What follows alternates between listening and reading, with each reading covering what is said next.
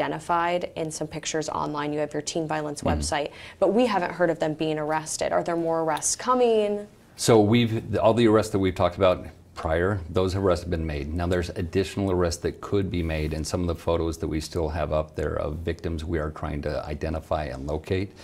If and when we can identify and, and interview them, we have uh, suspects named in those cases, and so we could make additional arrests on those cases, but we are still working on identifying and locating those uh, victims so we can interview them. Yeah, so it's been reported that you had hundreds of calls at the In-N-Out here in Gilbert. What have you guys been doing to make sure that people feel safe when they go there? First, to clarify the, the quantity of, of cases that we had at, at the In-N-Out, we had four documented assaults at the In-N-Out in a four year time period. The calls that we had at In-N-Out, what we have now, based on the information we received after Preston Lord was killed with the videos, a lot of those fight videos that we saw were not available to us prior to Preston Lord's death after the, the, his death, we were uh, in receipt of those via social media, the media, and uh, people sending those to us. And we were able to sort through those. And from those, we've got five additional cases of assaults at the In-N-Out that occurred. But again, those weren't reported to us prior. You have to also keep in mind that that In-N-Out is, is in a very popular, very busy location. It's right next to the mall, right next to the freeway. It's one of the locations that's open late. And so we've always been aware that the teenagers congregate there. And so we've been very proactive throughout the years of making sure that they know we're there, we're being visible, quickly responding to calls. And in those calls that you mentioned, the majority of those, um, a lot of the teen calls didn't involve violence. Uh, teens hanging out, um, sometimes uh, adults being disruptive, and teens were involved. But I wanted to make sure it was very clear to the community and to the media of everything we had that involved a teen, and so that you could see what we were dealing with. And the majority of them weren't crimes.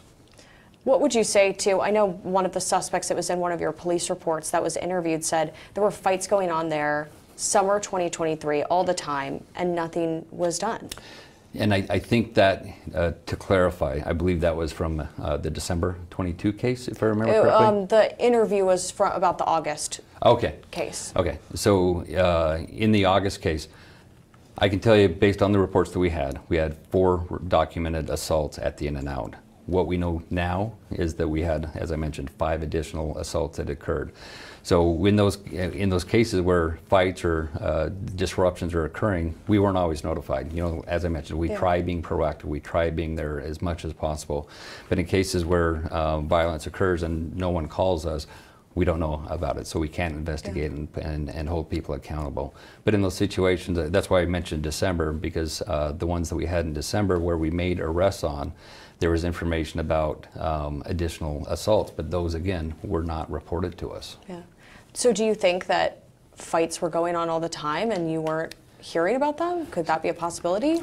It's possible, and- and to clarify though, what we're seeing, what we saw in Gilbert, we've been seeing throughout the East Valley. Um, unfortunately, we've seen teen violence throughout the county and throughout the nation. When you look online, you see social media feeds, it's fight after fight um, throughout the country, teens and young adults, uh, and just senseless. And so Gilbert's no different in, in what we were seeing. And but what we have learned um, from our teen violence cases, and let me go back a little bit to kind of get perspective of the teen violence cases. We were in from 22 uh, to 23, we responded to an average of about 16,000 calls per month. Of those 16,000 calls per month, on average, less than one call per month was related to group teen violence. And so in those cases, um, we know now differently than what we knew back then prior to Preston Lord's death. Once those videos were provided to us, we were able to uh, identify that this group known as the Gilbert Goons was involved in some of these, and we're still uh, looking into that investigation to identify their involvement. But that information that was provided uh, via the, the media and, and the tips, that was not provided to us before. And to get to your point of the question, we found in reviewing those cases and talking to the victims, there was a reluctance to come forward. They feared reprisals, they feared retaliation. But the important thing for our community to know is if a crime is not reported to us, they're more than likely going to reoffend. And so we need uh, those crimes to be reported to us. We will work with our community and with our victims to protect them. In terms of the Gilbert Goons, how many attacks can you tie to that? So that investigation is still ongoing. I know everyone's waiting for that last piece of the piece of the puzzle, and we are uh, making progress on that case, and that is still an active investigation. At the conclusion of that, we will be able to, as much as possible, relay that information to the community. Because I know in some court cases, prosecutors have said in court and in police reports that these people are part of a group affiliated with several violent attacks here in the East Valley area. So if they're calling them a group, you know, in court, in police reports, I mean, how long does it take to figure out what they are or who's a part of it? Yeah, and, and the big question is whether we can be classified as a, criminal street gang. So, um, regardless of whether they're a criminal street gang, there are groups of individuals that are committing assaults, regardless of if they're a criminal street gang or not. Out of our cases involving group teen violence, there are several cases that um, all indication is they have nothing to do with this group that we've named, uh, that, that has been identified as Gilbert Goons. And so in those cases, it's not we're not just looking at Gilbert Goons, we're looking at all group teen violence cases and looking for any association, associations between all of the individuals involved and holding them accountable for what they've done. So would you be comfortable to say that there was a group in Gilbert that was carrying out attacks on teens in and around the East Valley? So I, I think the videos uh, lead that to an obvious conclusion that there were individuals in Gilbert, in the East Valley, Chandler, Pinal County, Queen Creek, that had been committing uh, violent crimes. Um, the association of those individuals, that is what we are investigating. That's what our uh, investigation will determine of who is involved with that name, if anyone, and it, can it be established as a criminal street gang. But you, you've seen several people that have, are in repeat videos, so obviously they, they have committed multiple. Pinal County deputies said that Jacob Pennington kind of self-proclaimed that he was part of the Gilbert Goons. Have you had, had any suspects do that? So I'll hold that for our, the release of our gang investigation. I, I, saw what you're referencing to when they made that arrest in Pinal County, and I saw what was publicly available.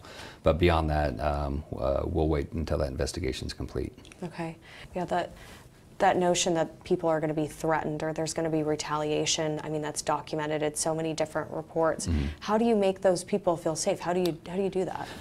So, as I mentioned, for first, we talked about one a couple weeks ago. Um, we need to be notified. Uh, we one of our cases that we had a delayed notification. In addition to that, they notified us that um, after the assault had occurred, the people came to the house to intimidate or threaten yeah. them, and in that case, that wasn't reported to us either. And so it's important to re first report to the police department. But we have resources available between legal processes, injunctions against harassment, orders of protection. Um, but that information is critical for us. We need to know if there's a threat or if there's any intimidation because then we can relay that to the court. So even if we've made an arrest, for one, it's another crime depending on what they do. Um, but additionally, we can re relay that information to the prosecutor's office, and as it goes through trial, uh, and upon conviction, that that can be used to help enhance the sentence based on the, their behavior throughout the incident. The cries for your resignation have gotten loud at times. What's your response to that? Are you going to resign? I understand people's frustration. You know, as I mentioned before, as this information came out, a lot of information came out very quickly after the Preston Lord, uh, after he was killed. And I understand that frustration, and people are looking for answers. And obviously, as the head of the department, uh, they look to me for, for answers. And, and I understand their frustration. Um, we, once we received these cases, we quickly got on all, all of the cases and we've made arrests in those cases.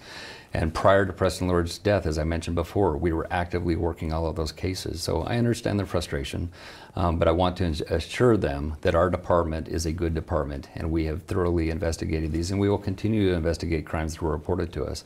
And to answer your question, no, I'm not resigning. Um, we will continue to support our community and provide for the safety of our community. What's your message to the community as they digest, you know, all of this information that they've learned over the last few months and particularly the last week? Yeah, um, as I started with, you know, talking about Preston Lord, the, the tragedy of his death and what it took to provide uh, the information to, to law enforcement to successfully bring that to conclusion of making arrest. But as I mentioned, that's it's still a long process. Um, but relying on the community to come to us. You know, the one thing I want our community to know is that we have a safe community in Gilbert. And the Gilbert Police Department is committed to our partnership with our community members to continue that safety of our, for our residents.